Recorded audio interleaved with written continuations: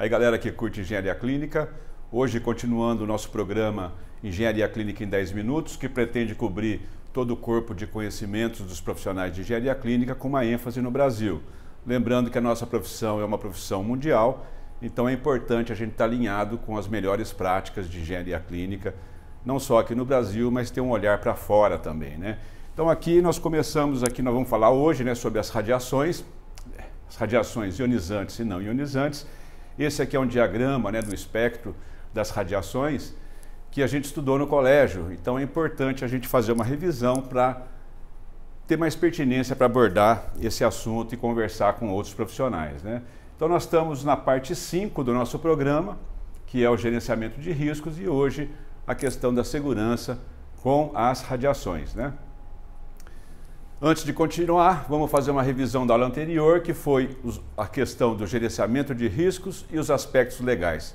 É um mercado regulado, a gente tem muita, é, é, muitas leis né, que afetam o serviço de saúde e os profissionais de engenharia podem contribuir bastante com isso.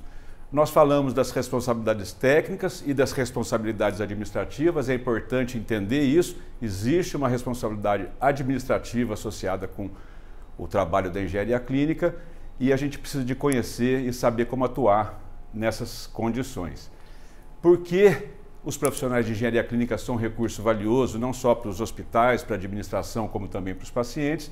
E falamos também de como os profissionais de engenharia clínica podem se relacionar com outros profissionais dentro do hospital. Por exemplo, os profissionais da CIPA, da Comissão de Controle de Infecção Hospitalar, do Serviço Especializado em Engenharia de Segurança e Medicina do Trabalho, Núcleo de Segurança do Paciente, Qualidade, enfim. Procurando dentro da sua organização, você vai encontrar como contribuir nas questões de gerenciamento de risco. E também demos um trabalho maior nas atividades periciais, quer seja atuando como eh, por uma parte, por outra ou pelo juiz, é uma área de atuação que os profissionais de engenharia clínica podem contribuir. E hoje vamos falar um pouquinho sobre a segurança contra as radiações. Então, vamos falar rapidamente o que é uma radiação, o que é radiação ionizante, não ionizante, os principais equipamentos que empregam radiações ionizantes e os principais fontes né, de radiações não ionizantes. E, por fim, como que o profissional de engenharia clínica pode se interar e interagir nesse quesito né, de radiações. Então, primeiramente, né, uma radiação é uma onda eletromagnética, porque ela é composta por um campo elétrico e um campo magnético. Lembrando que esses dois campos são representados por um vetor. E lembrando mais uma vez que o produto vetorial de dois vetores vai dar um outro vetor que é perpendicular ao plano formado pelos dois primeiros. Né? Lembrar essa questão da matemática vetorial acaba ajudando quando você vai mergulhar, estudar mais profundamente a reconstrução da imagem. Então, é isso aí. Existem vários tipos né, de, de radiações. E antes de avançar, vamos lembrar o que, que é ionização, né? Por que, que a radiação é chamada de ionizante? A gente, Para a gente lembrar isso, né, vamos passar é, pelos modelos, modelos, os modelos atômicos, né? Começou lá com Dalton, passou por Thomson, passou pelo modelo de Rutherford e hoje o que está valendo são os postulados de Niels Bohr, né? O que, que ele coloca? Ele coloca que os elétrons né, orbitam em torno do núcleo em níveis de energia é, constante. Então, por exemplo, vocês se lembrarem as camadas K, L, M, N, enfim, são os locais, as órbitas onde os elétrons estão girando ao redor do núcleo e ali eles têm um nível de energia estável. Então, se uma substância, um átomo, perde elétron, por exemplo, ele fica é, carregado positivamente. Então a gente diz que formou-se um íon. Tá? Por isso que existem algumas radiações que conseguem ionizar a matéria né? e outras radiações que não provocam esse tipo de efeito. O que é radiação não ionizante? Né? São aquelas características de onda eletromagnética, mas que não ionizam a matéria. Então aqui a gente, a gente pode observar nesse gráfico aqui que a partir aqui do ultravioleta para esse lado, você tem, por exemplo, o infravermelho, o micro-ondas, as ondas de rádio, até as ondas eletromagnéticas geradas né, pelas correntes elétricas nas torres de alta tensão. Então, todo esse espectro de radiações, a gente tem que conhecer dentro do hospital onde elas estão, quais são as fontes de risco, né? Avaliar a magnitude desse risco e propor as medidas de controle. Antes de avançar, recomendamos aqui fortemente que vocês conheçam as diretrizes básicas de radioproteção que foram é, editadas pelo CENEM, que é a Comissão Nacional de Energia Nuclear. Está na descrição o link para vocês estudarem para entender como que a gente pode ajudar ou se especializar nessa área de radioproteção. São várias unidades de medida que, que pretendem definir o que, é uma dose, né? e todas elas acabam relacionando a quantidade de energia absorvida pela matéria por unidade de massa dessa matéria. Então, em termos práticos, a unidade é joule por quilograma. Ou sievert, um joule por, por, por, por quilograma é um sievert.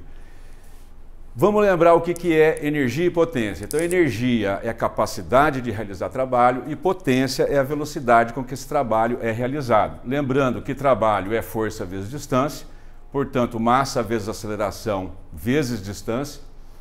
A massa, quilograma, aceleração, metro por segundo ao quadrado, esse pacotinho quilograma-força, quilograma vezes metro por segundo ao quadrado, em homenagem a Isaac Newton, foi recebido, foi dado o nome de Newton. Né? E Newton vezes metro, em homenagem ao Joule, recebeu o nome de Joule. Então, Joule é energia, Joule por segundo é watt. É importante se atentar para a questão da potência, porque muitos dos é, algumas avaliações né, são feitas em função da potência por unidade diária que chega no corpo. Watt por centímetro quadrado, vocês vão encontrar isso em várias aplicações médicas. Seguindo adiante, as principais fontes de radiação ionizante, então, no hospital, são lá os aparelhos de raio-x, tanto fixo quanto móvel, lembrando que esses riscos são comuns aos trabalhadores, aos visitantes, aos acompanhantes e ao paciente, por isso exige uma interação da equipe de segurança do trabalho com o pessoal da engenharia clínica e os profissionais, os físicos médicos que hoje estão ocupando esse lugar no mercado. A gente vai falar um pouquinho mais na frente. Né? A fluoroscopia, que é a imagem gerada por raio-x em tempo real, né? a gente usa isso, tem aparelhos de raio-x que fazem fluoroscopia, o arco cirúrgico é um outro tipo de equipamento que trabalha nessa linha, o angiógrafo, que é um arco cirúrgico aumentado né? para fazer é, é, radiologia intervencionista, né? É, chamado de angiógrafo ou aparelho de hemodinâmica, o tomógrafo computadorizado, que nada mais é que um raio-x, utiliza radiação X também para produção de imagens. Tem um conjunto de radioisótopos que são elementos né, que têm uma atividade é, em termos de radiações importante que é utilizada para ou diagnóstico ou para terapia. Por exemplo, a medicina nuclear, onde essa substância é injetada no corpo humano e essa substância, dependendo dela, ela vai se alojar em partes do corpo humano, onde a gente tem interesse em estudar. Os radioimunissaios são técnicas para detecção, quantificação de algumas substâncias, hormônios, por exemplo, células tumorais, que você consegue medir a quantidade disso a partir é, da marcação dessa substância que a gente quer analisar. A bracterapia, que é um procedimento terapêutico, você praticamente insere dentro do corpo humano um radioisótopo com a finalidade de interagir com células cancerígenas e fazer o procedimento terapêutico, né?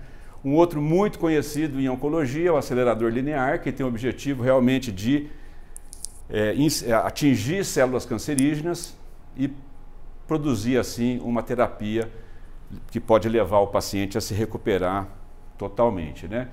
E radiação não ionizante. A gente tem um grupo grande também, por exemplo, o vermelho e infravermelho a gente usa no oxímetro de pulso, né? A, a quantidade de vermelho e infravermelho que é absorvido pelo corpo humano, a gente consegue fazer uma correlação com a quantidade de hemoglobina ligada ao oxigênio e, portanto, informar para o profissional da assistência a saturação do paciente. A gente usa o infravermelho também no caso de para medir distância, tem é, réguas, né, trenas é, laser, né? Nós temos aqui no próprio mouse o infravermelho, a gente usa o infravermelho para posicionamento do paciente, né? a gente vê isso no gantry de tomógrafo, no gantry de ressonância, no gantry de, na sala de radioterapia. Então a gente precisa de conhecer o comprimento de onda e os riscos envolvidos com essa radiação naquele comprimento de onda. O laser também é outro exemplo, que é usado em procedimentos cirúrgicos, tem uma série de aplicações, mas uma que me ocorre aqui agora é no, é, como é, função de cortar né, o tecido. O ultravioleta, também famoso, a gente usa em capela de fluxo laminar ou fluxo unidirecional em laboratório. Importante entender que a potência é, da radiação ultravioleta, ela decai ao longo do tempo, dependendo da fonte que você está usando, então é importante medir, não é porque acende que, tá, que tem a eficácia nessa questão de atuação como um biocida, né? Em laboratório de análises clínicas também é, é utilizada, essa capela pode estar em, laboratório, em laboratórios, né? Ele é indicado também como uma medida de controle no caso de tuberculose, né, utilizando para ambientes que não têm o, ser humano, né, tem algumas limitações, mas ela está presente aí no dia a dia em várias, em várias situações no ambiente hospitalar. Um outro exemplo do azul, né, que é usado para hiperbilirrubinemia, são os aparelhos de fototerapia, que é usado em neonatologia. A função dela é quebrar a bilirrubina e tornar ela absorvível pelo corpo humano e daí eliminada, né, utilizado na, naqueles tratamentos de quiterícia. Né? O que mais que a gente tem? Temos também as ondas de rádio, Wi-Fi, o campo, o próprio campo eletromagnético estático que é criado na ressonância nuclear magnética, é uma radiação não ionizante. No caso aqui a gente tem um outro risco, né, que é aquele risco de, na realidade é devido ao magnetismo criado pela corrente elétrica, mas de atrair materiais ferromagnéticos. Ondas curtas e microondas são utilizadas para elevar a temperatura do tecido do corpo humano para fazer alguns, alguns tipos de terapia. Isso é muito comum nos serviços de fisioterapia dos hospitais. Né? E o que mais que a gente tem aqui separou na listinha? O que, que a gente pode fazer para ajudar essa turma, né? o, o, a questão paciente, os trabalhadores? Primeiro, né? eu recomendo muito que se faça uma aproximação entre CIPA e SESMIT. Eles são, estão preocupados com a segurança e a saúde ocupacional e identificar, ajudar, contribuir a identificar, né, reconhecer, avaliar e propor medidas de controle desses riscos é um passo muito importante, uma vez que os profissionais de engenharia clínica estão muito mais próximos dos equipamentos médicos assistenciais do que os profissionais da CIPA e do SESMIT. Atuar em conjunto com os físicos médicos, né, isso já é uma realidade.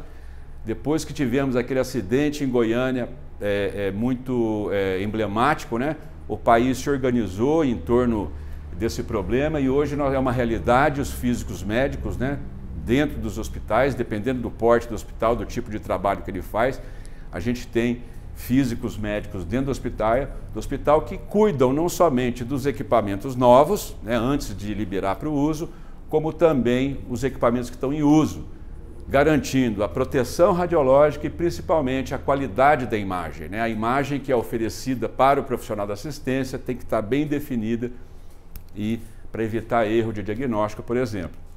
E há a possibilidade até de é, profissionais técnicos ou de nível superior ou de nível médio se especializarem nessa área de proteção radiológica. E aí recomendo novamente a leitura da, do CNEM NE 3.02, você vai ter uma panorâmica importante geral sobre esse tema. Eu queria aproveitar e recomendar aqui para vocês um canal muito legal, que é uma, uma física, uma colega nossa, Ana Cláudia, Ana Cláudia tem na, no YouTube, que é a Academia de Radiologia. Para quem quiser mergulhar, se aprofundar, ali tem uma série de vídeos que vocês vão poder se esbaldar ali, melhorar o vocabulário, equalizar o vocabulário para conversar com os diferentes profissionais que atuam nessa área. No mais, né, nós estamos aqui na Escola de Engenharia Clínica no YouTube. Falamos sobre as radiações e o papel dos profissionais da engenharia clínica. E no próximo episódio, dentro do gerenciamento de riscos, nós vamos falar sobre os testes em gases medicinais. Vamos abordar um pouco esse tema, que é importante, não só do ponto de vista econômico, mas do ponto de vista de segurança. É isso aí. E no mais, muito obrigado pelo seu tempo.